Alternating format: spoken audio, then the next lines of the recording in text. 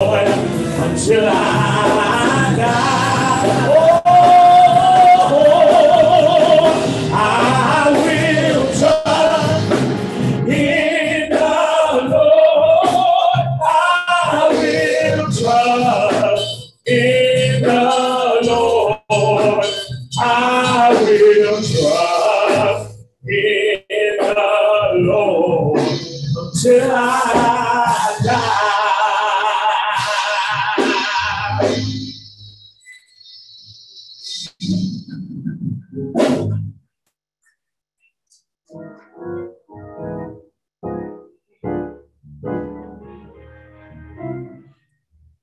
sounds like a testament and a declaration.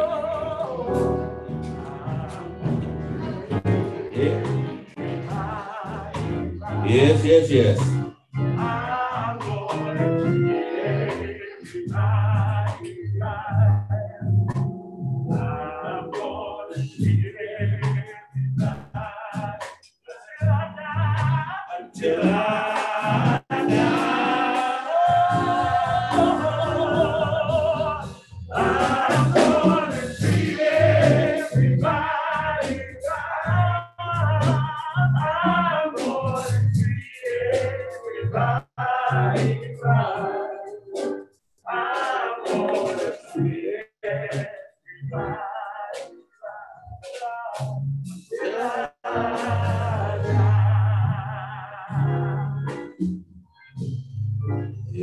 Amen.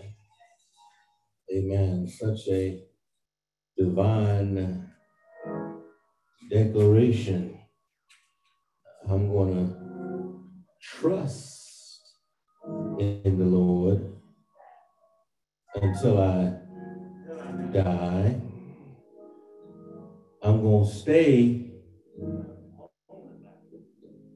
on the battlefield until I die. Which means when folk are doing you wrong and fighting against you, you don't run. I don't know if we have any military folk with us. There's no such thing as retreat. Amen. And even in the Bible, where they say put on the whole armor of God, there is no back covering. There's only forward covering. Amen. I'm going to stay on the battlefield. Amen. We got to learn to hang in there, even though it gets tough.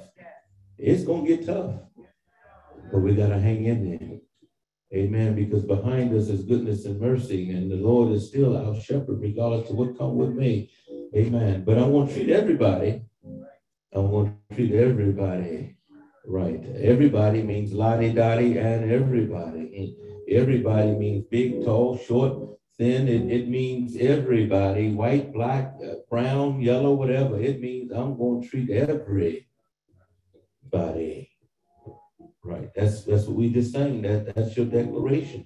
That's your commitment as a soldier in the army of the Lord. Amen. Well, it's preaching time.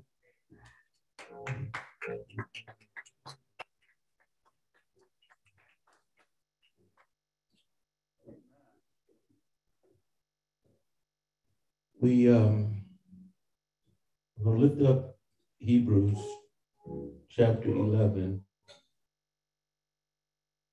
verses 1 through 3. And I know some of y'all saying we've probably been here before. I don't know anybody that can preach the gospel that's never been here before. Amen. Isn't that right, preachers? You pretty much can't preach and teach unless you come past Hebrews 11. Amen. Hebrews 11 they say the author is unknown. Some have ascribed it to Paul. It does not have, for me, it does not have all of the uh, Paul characteristics. Um, but in some cases, some theologians believe it does belong to Paul. What I've come to realize that it's the gospel. It doesn't matter who wrote it, it's still good news. Amen.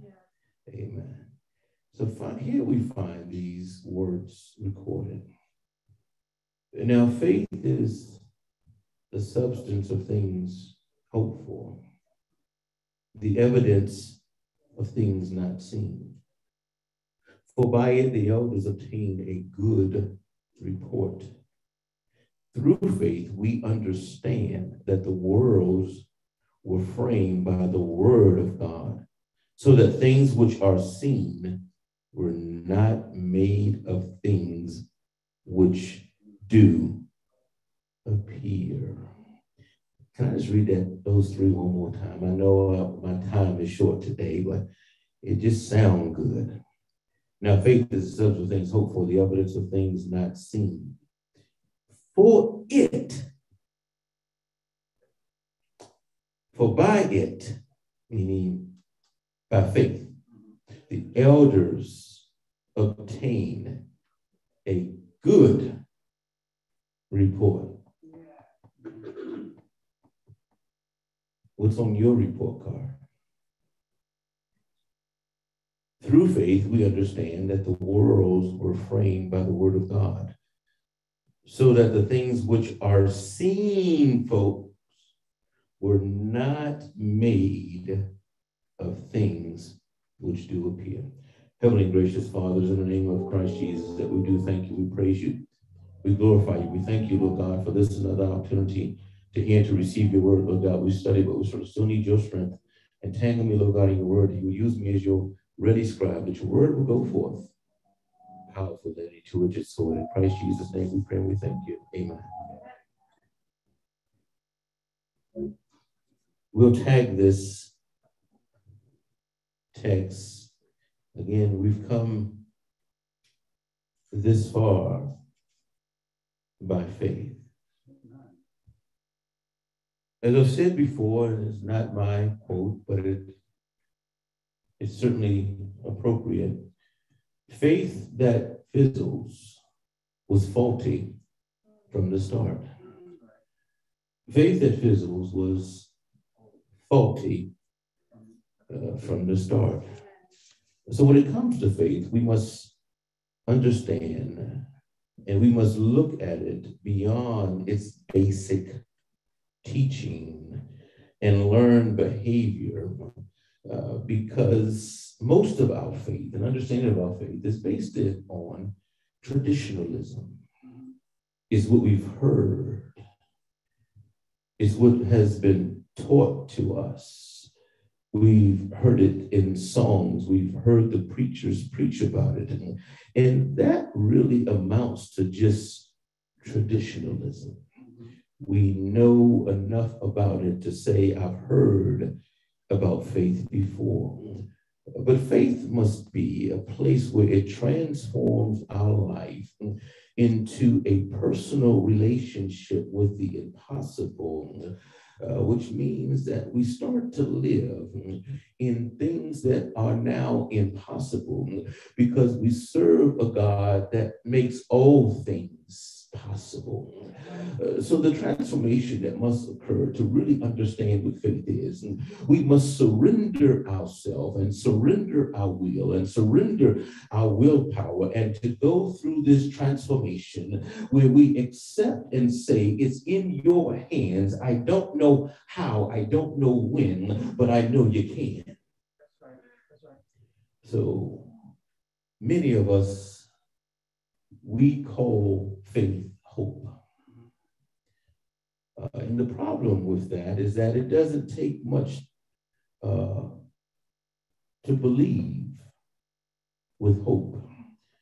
Uh, because hope is simply something that you can see in many cases. I, I, you're standing at the bus stop and a bus is coming and you say, I hope that's my bus. You're at the subway and the lights start blinking and you see the train coming. You're like, I hope that's my train. You've had indication that something is on the way. So that's not faith. That's simply just hoping. Uh, you see uh, the mailman put the mail in the box. He said, I hope my check is in the box. You see something happening. Uh, but faith is where you are able to say, I didn't see anything. I have no indication. I, I have no earmarking. I, I, have nothing to go on, but be able, uh, able to say, I know he can and I know he will. Uh, hope has no real relevance in the realm of impossibility. Uh, because Paul even intimated this when he tried to show us uh, the fallacy of operating with just hope and not faith. It was Paul that said to the church at Rome in Romans 8:24, he says, For we are saved by hope, but hope that is seen is not hope. Uh, for what a man seeth, why do he yet But we hope. But if we hope for that which we see not, then do we with patience wait for it. And how many of you can say you've operated in the patience of waiting? Uh, you've asked God to move, you've asked God to bring, you've asked God to deliver, you've asked God to lift, you ask God for various things. And when He does not move fast enough, we, we step outside of the realm of patience and we make things happen and we only make a mess of those things. We know that in the hall of faith, uh, we see the name written uh, Abram or Abraham, and we see that Abraham made it uh, to the hall of faith. But Abraham did not always operate in faith because he stepped outside of the faith of God. He stepped outside of the patience and he decided he was going to make what God told him come to pass. You can't make what God tells you to come to pass. God says you're going to be the father of many nations, but he looked at his condition. Church, faith should cause you not to look at your condition, but he looked at his condition, and his condition is I'm old. And Sarah He's old. I'm old. Sarah's old. There was no Viagra and Cialis back then. They just looked at the situation and said it's impossible. But Abraham decided he was going to help God by saying, uh, I'm going to go ahead and use one of the handmaids. And I'm going to go ahead and help God out because God does not understand the current situation. How many times have you stepped outside of the will of God because you didn't feel God understood your current situation? Change jobs, change uh, relationships, got married, or did things that God did not tell you to do, but He promised you. He doesn't need us to make it happen. He needs us to simply trust and wait on Him to make it happen. And because of what Abraham did, uh, we now have a person by the name of Ishmael. Ishmael is the reason we are at war today with the Taliban and the Muslim faith that, that are non God loving individuals. His mistake we are still dealing with today because he didn't have the patience. How many of us are moving without the hand of God? So Paul wants us to know that don't move just because you can see. Well, I see Abraham's. I see she's at the she's in the childbearing years, and my boo Sarah, she's not. So I see it. So I, my my my hope is now in my handmaid. But again, I can have a teaching moment here because our faith must be transformational. It should be moving us into a higher sphere and a higher relationship and revelation and illumination of God. However, based on our real life in real time situations, we have uh, gotten away and we have adopted uh, what might be called existential in, entrenchment or the fact that we have engaged in uh, the fact that it's just synonymous with Christianity. Faith has just become a word that is really just synonymous with, with Christianity. We just associate it with being a Christian. Well, I have faith. We'll go around talking, I have faith. And we'll tell people, have faith. And it's okay, I have faith.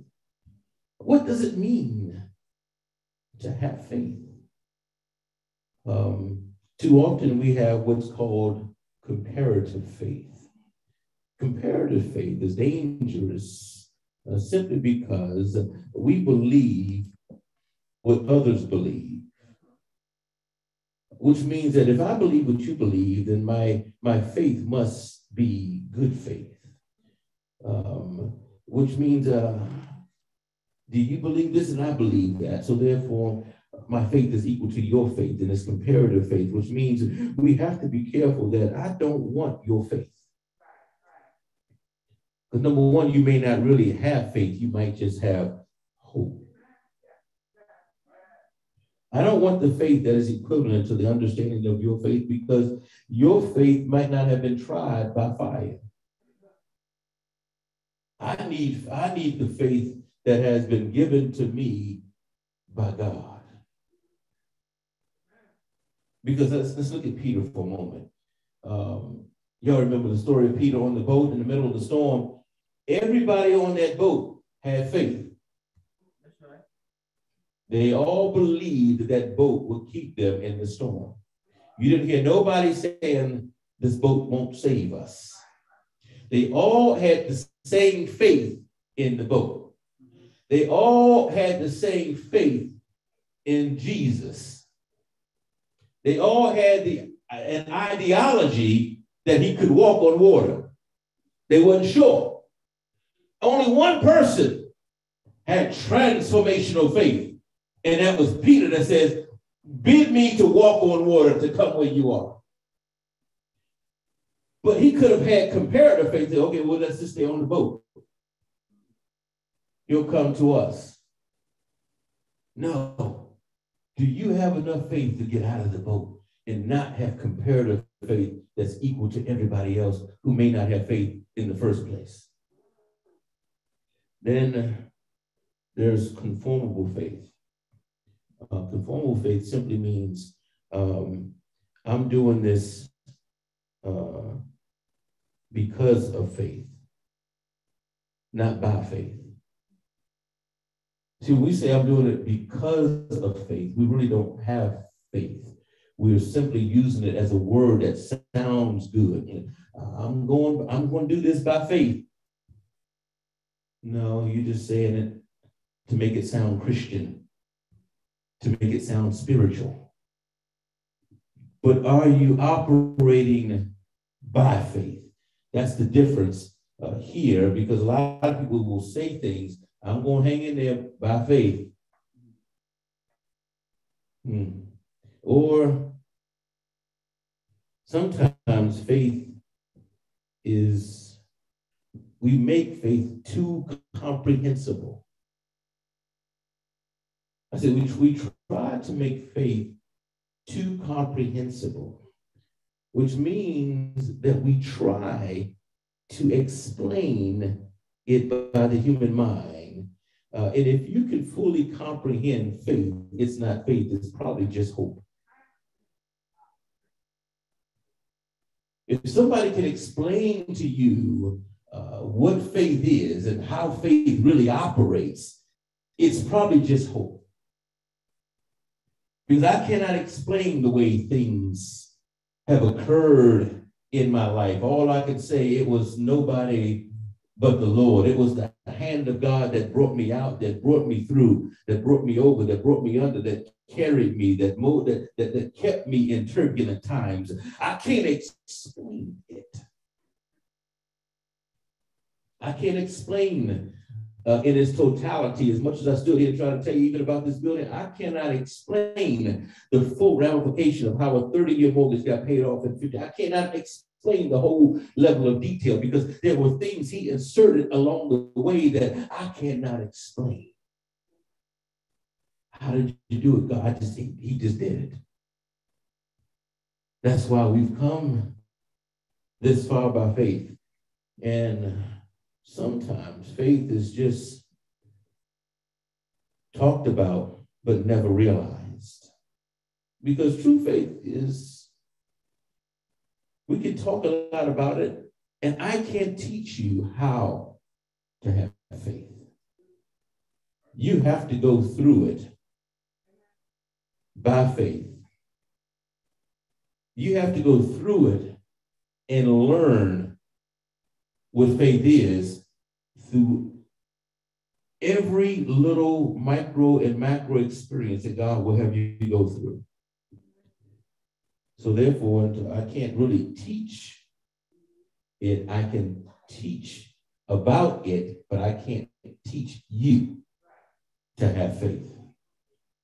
I cannot teach you how to give up on the impossible and surrender to the God of all impossibility uh, in order for you to transform your thinking and your thought process.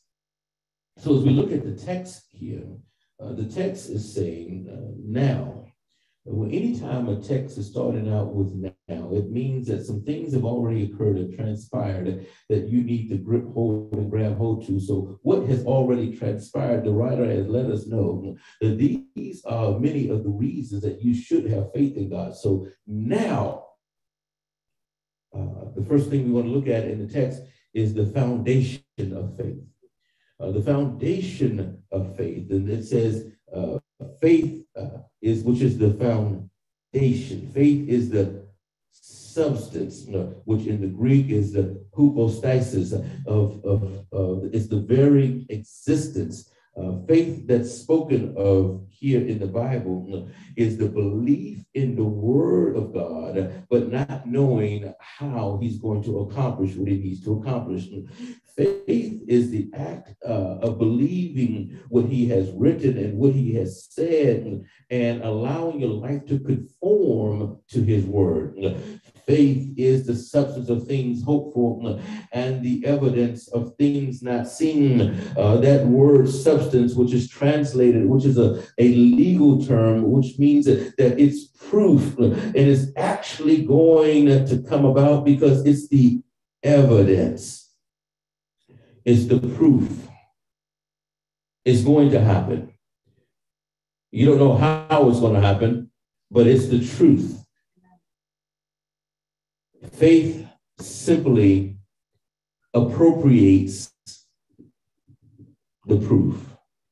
And the proof is the evidence, which is the conviction that we all should have. We should have such a strong conviction in faith that those who walk by faith in the word of God will be the people that have are the people of conviction. Do you have a strong enough conviction to, to know that when the world says no, that God will still say yes? When the world takes it from you and God still says, I will restore when your enemy uh, has attacked you and, and God is still saying, I will repay. Do you have that level of conviction that you don't have to act upon unless he has given you the authority to act upon? Just like David, when he was when his family was attacked in Ziklag, uh, he said, Shall I pursue? Uh, he did not pursue until God says, Go ahead and pursue. You shall recover. And he did not know how he was going to recover. He didn't know what he was going to recover, but he was simply following the word of God. That's the power of the foundation of faith. The, the other thing I like about faith, faith is, is the, the forecasting of faith. Because our foundation, the very substratum in which we live and exist upon, must be on faith. That's all we have. The prophets had the very presence and the essence of God. Even Moses had what was called the theophanies of God. God revealed himself in different ways, the burning bush. We don't have that. The disciples had the physical presence of God in the person of Jesus Christ. We, the only thing we have is faith. So therefore, if we don't have faith, we don't have Christ. We must faith. But the other thing about faith, faith is, is the forecasting.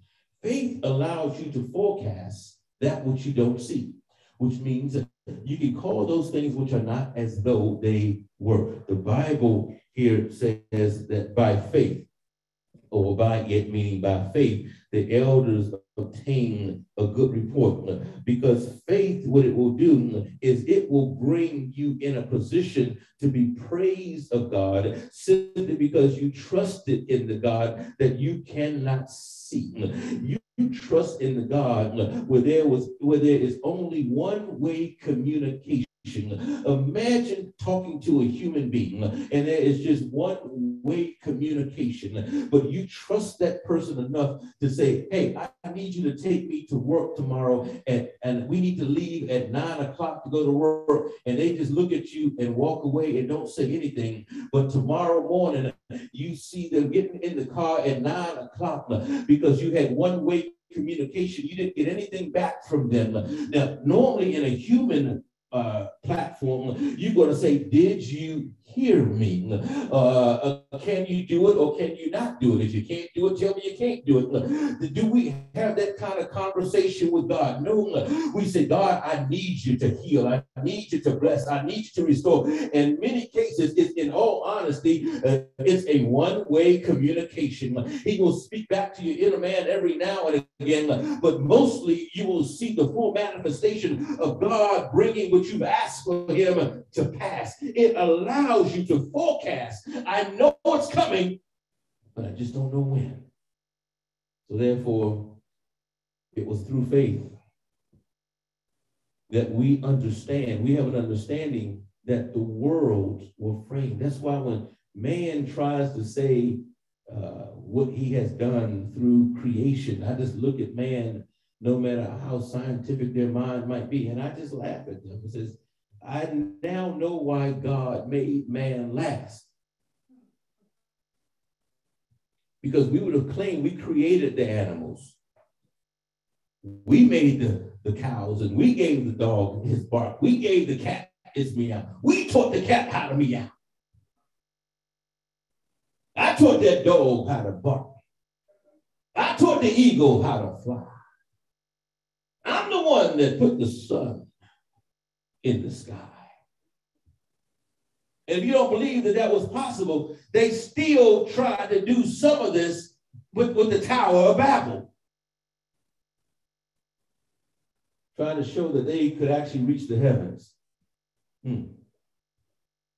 But what faith does, it allows you to forecast because it gives you a perceptive mind that you can be you can perceive things that the normal human being is not able to perceive which means that god is in control of all things regardless to what someone may say to you that may counter that because we have two ways of looking at this. Verse 2 says by faith. I know it says by it but by faith. And then 3 says through faith.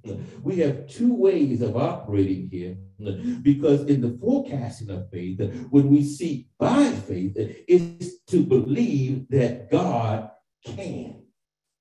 Uh, you don't know how, you just believe that God can. In the book of Hebrews, the third chapter, around the 17th verse, we see the story of the, he- the three Hebrew boys that were thrown into the fiery furnace. I like their substratum. I like their foundation. I like their forecasting. They had good foundation and they had good forecasting. They said uh, to Nebuchadnezzar, they said, hey, you know what? We're not going to bow down to you. We don't really care what you do. In 17, it says, if it be so, our God, if it be so. I said, if it be so. Our God, whom we serve, is able to deliver us uh, from the burning fiery furnace. I need y'all to understand what they're really saying here. They didn't say God will keep us from going into the furnace. No, no, no. They didn't say God's going to keep us from your hands of destruction. They said God can deliver them out of. Go ahead and throw us in. But we know the God we serve is able to deliver us from where? From the fiery furnace. And he will deliver us out of thy hand, O king. But if not, I like this part. Even if he does not, my faith is still resolved. My faith is still strong. Be it known unto thee, O king, that we will not serve thy gods nor worship the golden image which thou hast set up. Do you have that kind of faith where you have the, the foundation and the forecasting that I'm still uh, going to trust in the Lord? I'm still going to believe that God is able to bring us out and to bring us through. That's faith with foundation. That's faith with forecasting. Then we have finishing faith. The thing about finishing faith, you can't get to finishing faith unless you have foundation in faith. And you can't get the forecasting in faith unless you have foundation in faith, and you can't get finishing faith unless you have foundation and forecasting. Because you won't finish unless you have good grounding.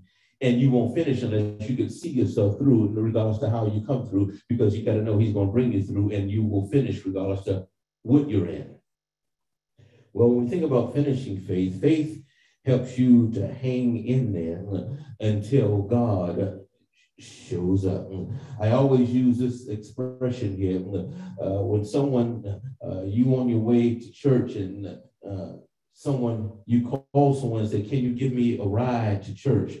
And they will say, Okay, I will give you a ride. I will pick you up in time for church. And then someone else calls you knowing that you need a ride, and they say, Do you need a ride to church?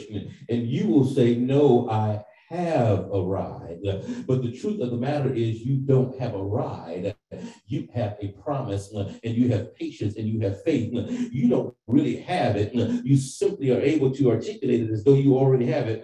That's where the forecasting comes in, and you're able to hang in there, even though you watch other cars come by. You're peeping out the window every time a car pulls up, or you're looking at your watch and wondering, or these days you start texting folks, are you still on, your way? Uh, so what you do, you hang in there uh, and you wait for the ride to come uh, because you spoke and you articulated that I have uh, a ride. But I want to know how many individuals here today have that good report card, have that good report to say that there have been some tough times, but you're able to say that I hung on in there and had a finishing faith.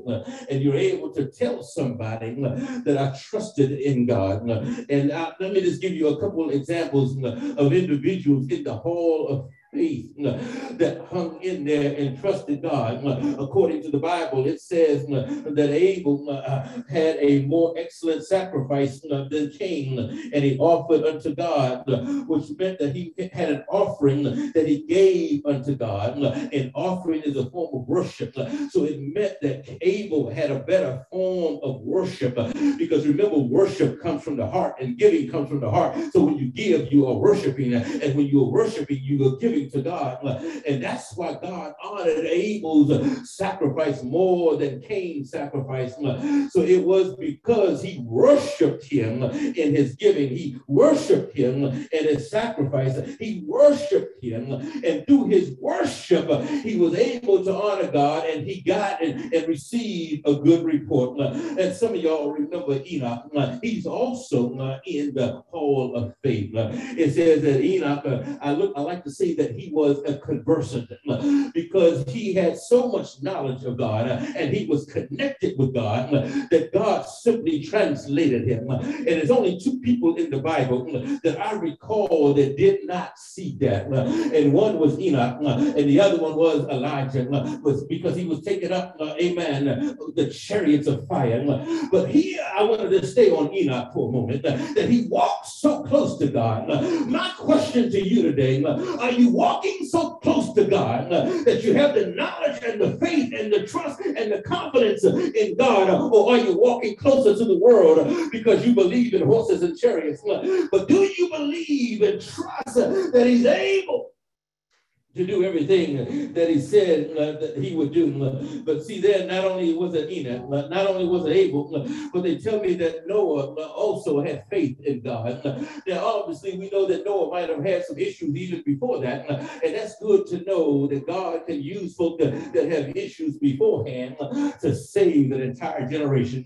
Stop letting the devil tell you that God can't use you simply because of who you are. You're able to do the impossible, inconceivable. Uh, You're able to do the immovable because God's hand is upon you. They tell me uh, that God spoke to Noah uh, in the middle of a messed up generation. And when God spoke to Noah, he warned Noah about things that Noah had never ever seen nor even heard of. Noah had never seen rain. He lived in what was called the antediluvian period. He had never seen rain, but God told him, Hey, Noah, it's going to rain. God, what do you mean? Rain? What, where does it even come from? Does it come from the ocean?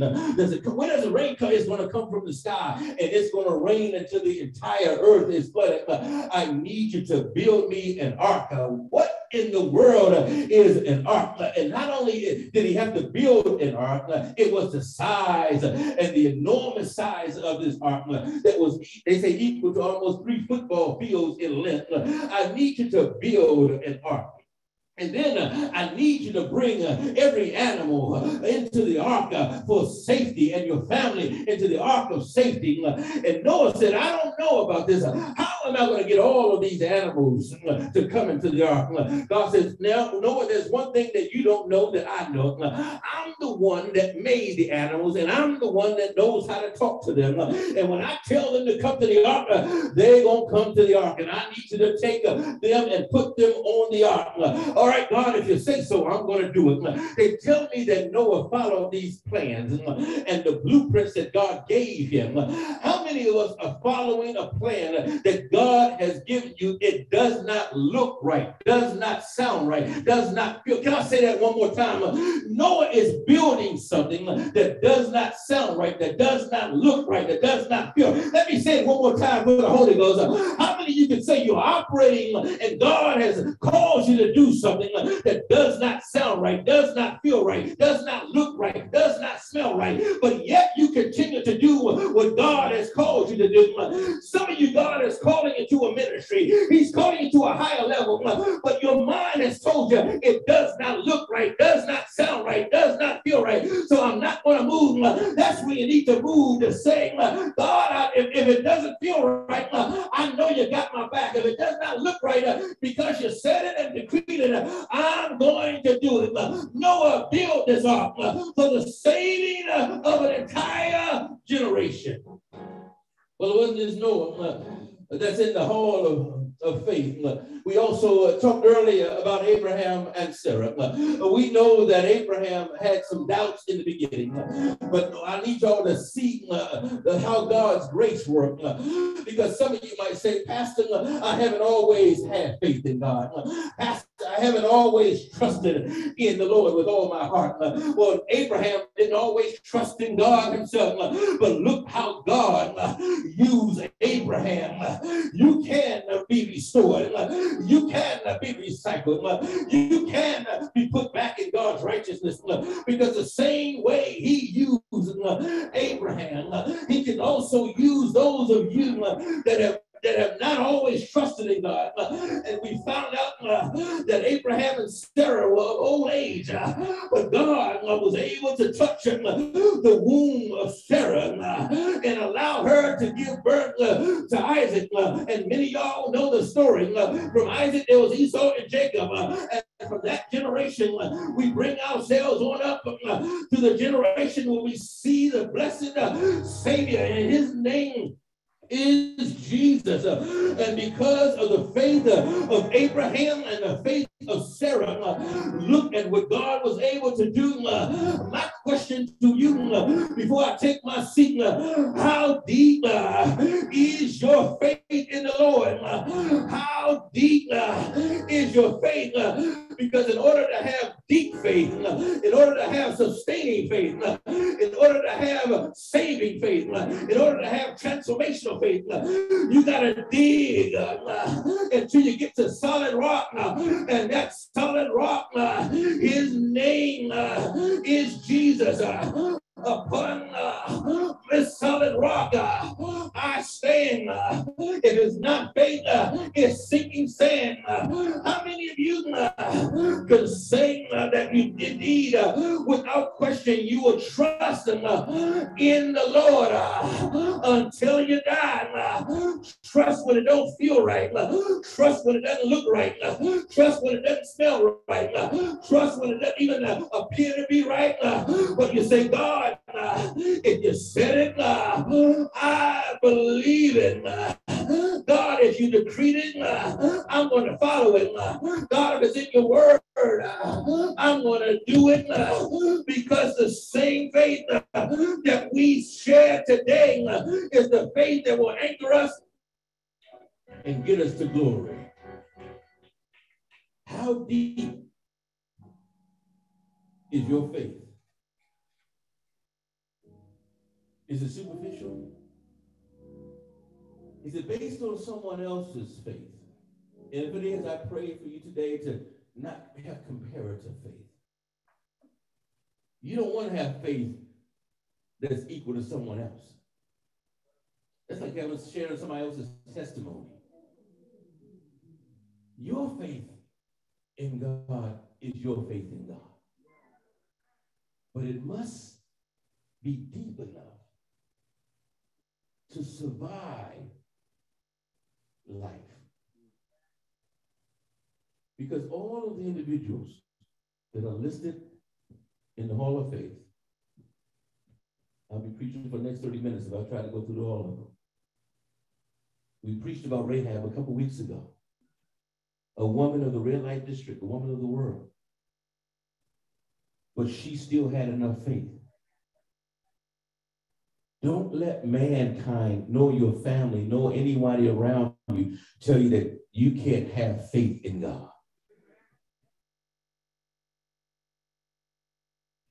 He will use any and everybody if you allow him to entrench you with faith. And if you don't have it, ask God for it. Don't, try to copy it off of somebody else. Don't try to use somebody else's faith story. You can share somebody else's faith testimony, but don't try to use their story as your understanding of faith. God, again, used imperfect people to do his perfected work. These were regular old folk.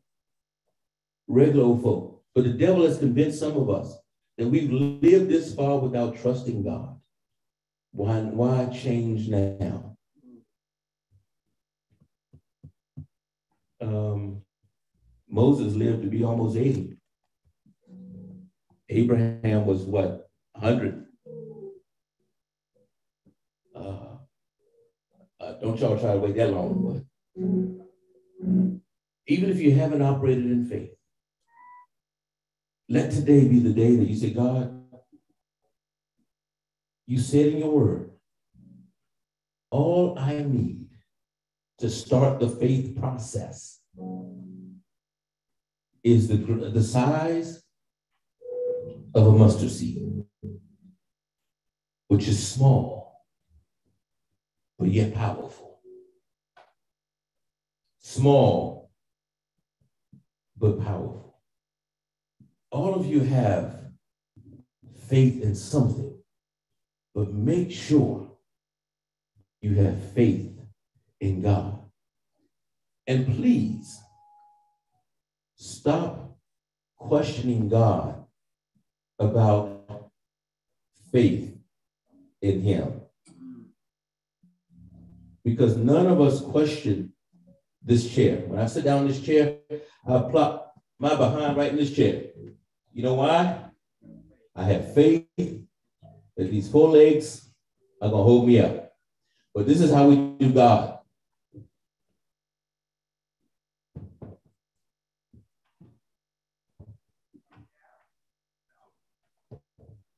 Okay. um, hey, can you come sit in this chair?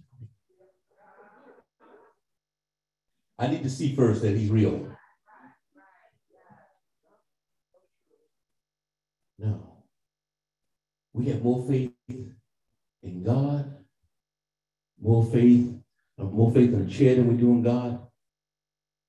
We have faith in your gas needle. You know, E stands for empty. But you, that little, most cars now had a little warning light on. You have more faith in that warning light than you do from this warning light. This is a big warning light. Tells us how to live, how to do right, how to correct, how to feel when we need to fill ourselves up. But you be like, oh no, I got I know it's on E, but the warning light says I have at least two gallons left. And if any of y'all are that good to calculate what two gallons are going to do in a car that's getting 20 miles to the gallon, that's good for you. What I'm getting at is look at the level of brain power and faith you are putting into a car. But we won't give God even half of that to trust in Him. And don't say, please, some of y'all sitting there saying, well, I, I, I prayed to God that He will get me to the gas station. That's called hope. You are hoping that there is enough gas in this gas tank. Amen. Amen. God bless you. May the peace and power of God be with you. We're going to open the doors of discipleship. May we all stand at this time. Might there be someone in the sanctuary or and online? If you're not giving your life to Jesus Christ, it's your opportunity to surrender your life to Christ.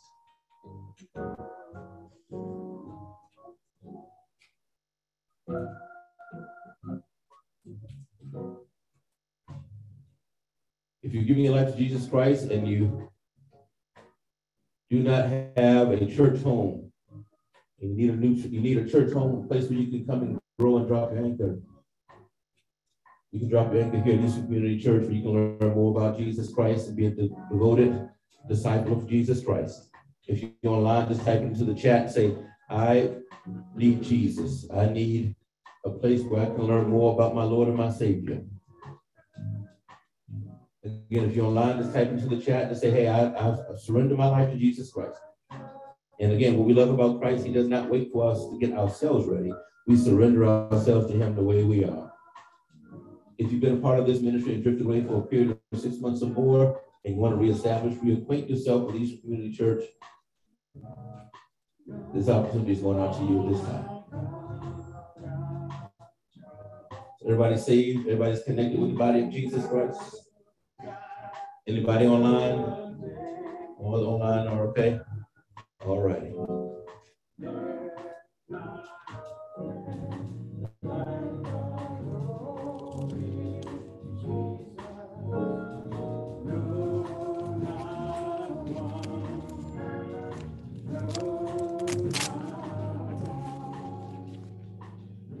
Amen. God bless you.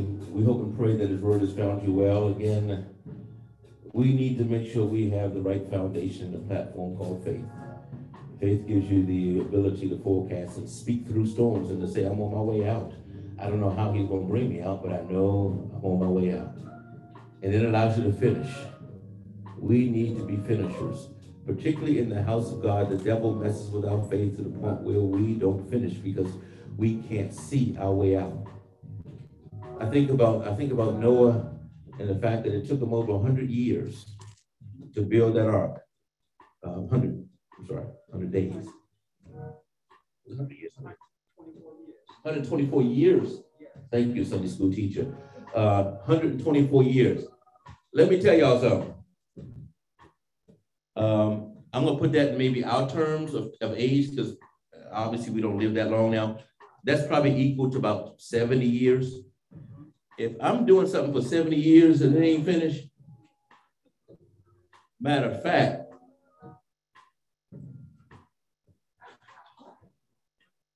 probably about 70 days. This thing not finished in 70 days. I quit. I'm gonna punch the clock. I'm just keeping it real. Most of us would not be that consistent with the Lord. Because when it comes to ministry, when it comes to what we've been called to do, there is no quit. There may be transformation and secession, but there is no quit. Um, and it's because we just don't see, we don't see God in it anymore. 120 something years. Wow. Wow. Yeah. Not just not just friends. He had family laughing at him. Because if you don't don't see yourself in the story of Noah, you don't you won't never you'll never see yourself. Because every time you are in worship and Bible study, you are building your ark.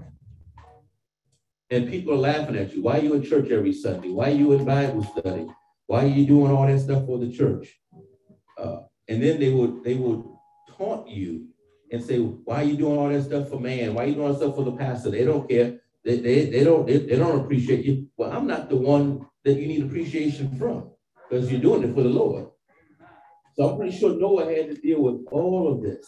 And all of this stuff gets in our mind. We all are Noahs building in our, hopefully for the saving of our family. But you ultimately building an ark in order to get home to glory. Amen. Because remember, Noah is just an archetype for Jesus Christ. Amen. So God bless you. Again, we hope that everyone is, is connected with Jesus Christ, and most importantly, that you're in relationship and not religion. God bless you. Let us all pray. Heavenly gracious Father, in the name of Jesus Christ. And Father, we thank you. We praise you, Lord God, for this another opportunity, Lord God, to be in your house of worship, Lord God, to hear your word, Lord God, on the subject of faith. We ask and pray, Lord God, that your word, Lord God, will fall upon good and fertile ground, Lord God, and that we will leave here, Lord God, to share it and determine, Lord God, to be stronger and stronger and stronger in our faith. Because we know that, Lord God, when we're going through, you don't pull us out with our hands and our feet. You pull us out and through based upon the power of our faith. Increase our faith. It is in Christ Jesus' name we pray you. Amen. God bless you.